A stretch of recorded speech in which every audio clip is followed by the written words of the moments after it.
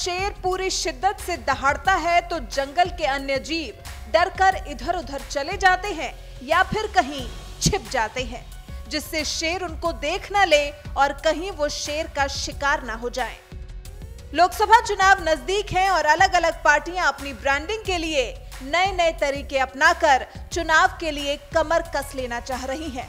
Social media का जमाना है, आजकल हर कोई सोशल मीडिया से जुड़ा है तो ब्रांडिंग और प्रमोशन के लिए साधन से बेहतर साधन और क्या ही हो सकता है। सोशल मीडिया पर बड़े बड़े लेख लिखकर वीडियो बनाकर कोई पार्टी दूसरी पार्टी पर हमलावर होना चाह रही है तो कोई पार्टी अपने कामों को दिखाकर जनता के दिल में जगह चाहती है। तो कोई पार्टी अपने नेता की ब्रांडिंग कर जनता को उनके जज्बे से वाकिफ कराना चाह रही है। बीजेपी ने भी अपने पेज पर एक वीडियो जारी किया है। अपने प्रसिद्ध नेता का जो जन जन की दिल की धड़कन बन चुके हैं। वो नाम है नरेंद्र मोदी का।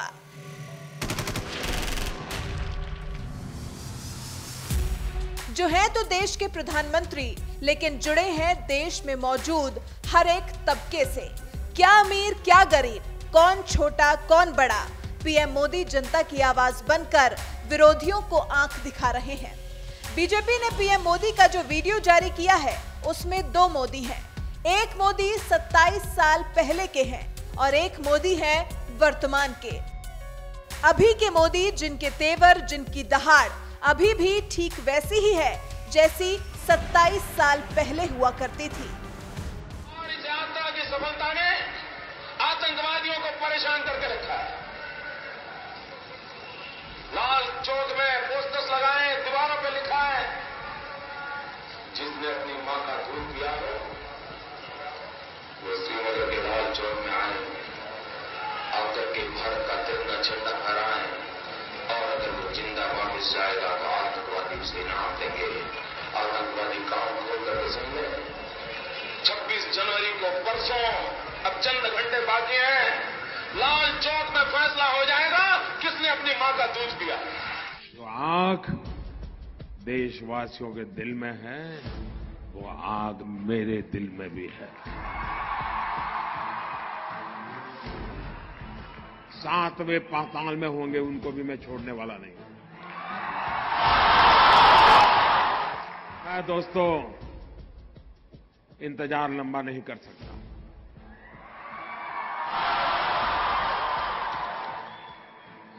चुन चुन करके हिसाब लेना, ये मेरी फितरत है।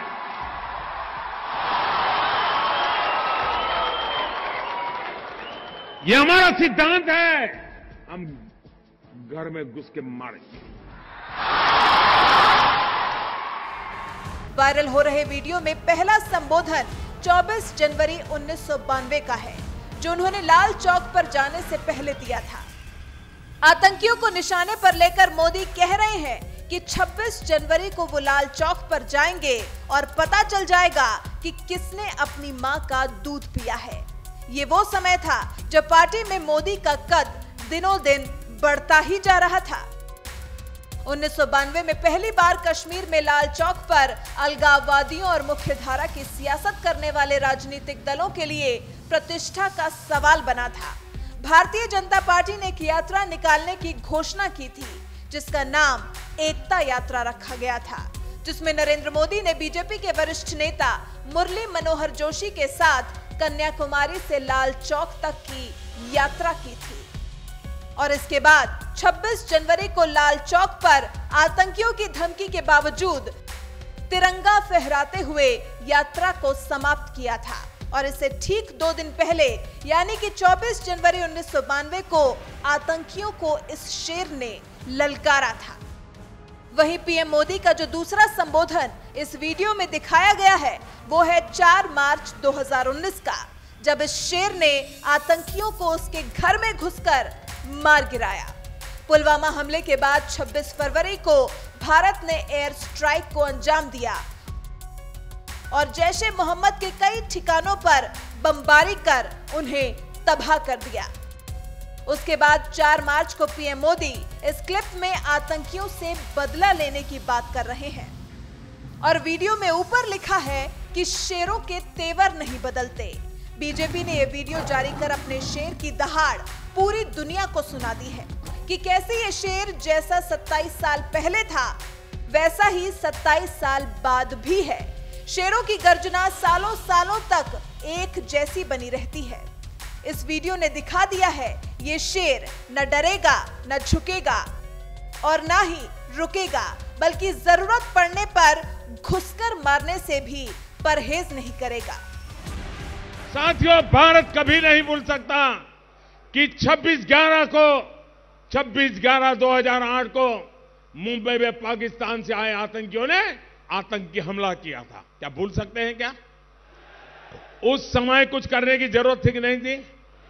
दुनिया हमारे साथ खड़ी हो जाती कि नहीं हो जाती? लेकिन इसके लिए दम चाहिए, दोस्तों।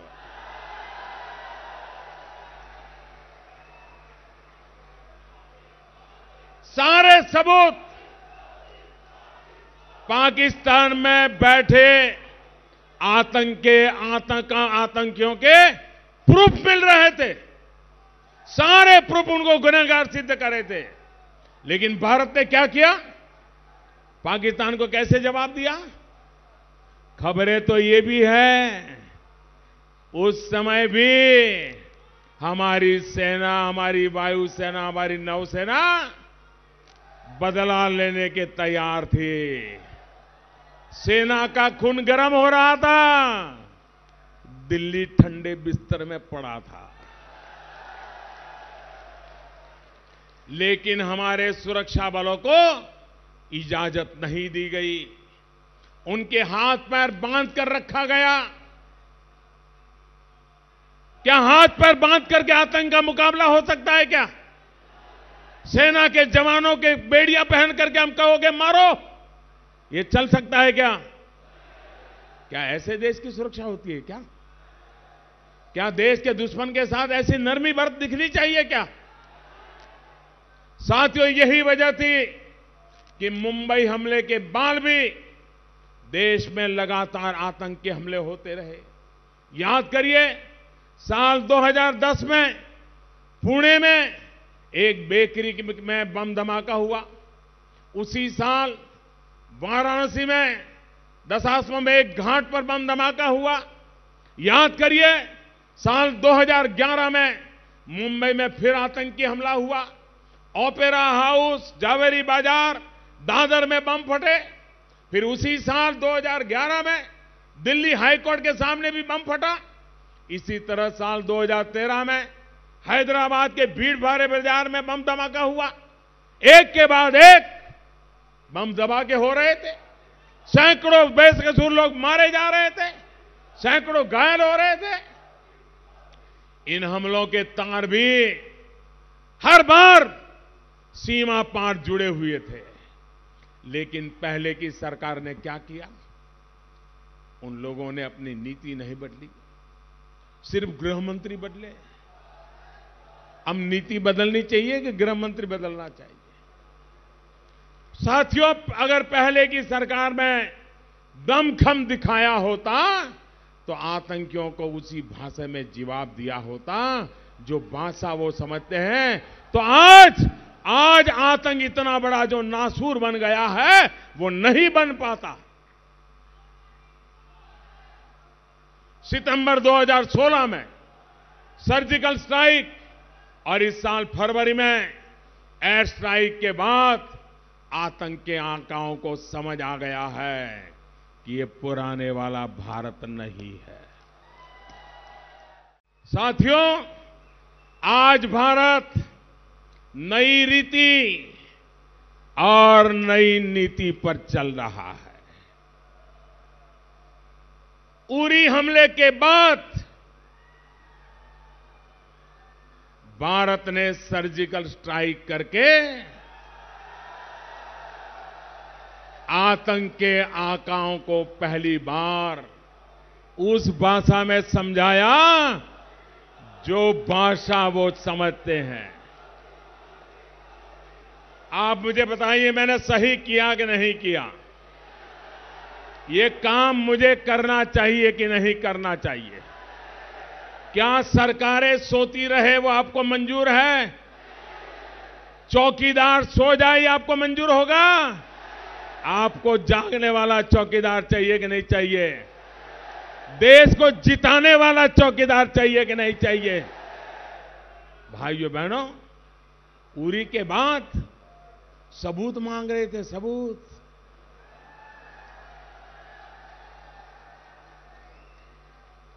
अभी पुलवामा हमला हुआ तो भारत के वीरों ने जो काम किया, ऐसा काम दशकों तक कभी नहीं हुआ है।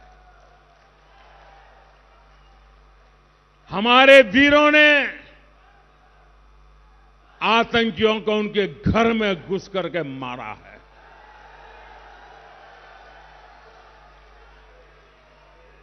आतंकियों को, उनके सरपरस्तों को, भारत से इस तरह के जवाब की उम्मीद नहीं थी।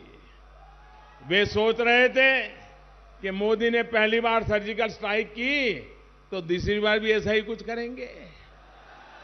और इसलिए उन्होंने क्या किया? सीमा पर बड़ा तैनाती कर दी।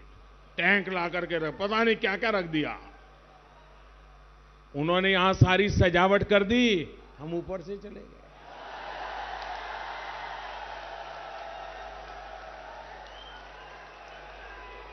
और मज़ा देखिए हम तो ये साहब कर करके चुप थे। रात के साढ़े तीन बज गए थे। देश को क्यों जगाना भाई? लेकिन ये ऐसी ये घटना इतनी बड़ी थी, घटना इतनी बड़ी थी कि रात को साढ़े तीन बजे पाकिस्तान की नींद खत्म हो गई। पाकिस्तान की नींद खत्म हो गई। हम तो चुप थे। हम सोच रहे थे, क्या होता है, देखते हैं। पाकिस्तान ऐसा घबरा गया था कि पाँच बजे उसने ट्वीट कर करके रोना शुरू कर दिया, मोदी ने मारा, मोदी ने मारा, मोदी ने मारा। दुनिया को उनकी हालत बिगड़ी है, इसके समाचार हमने नहीं दिए, पाकिस्तान ने दिए थे।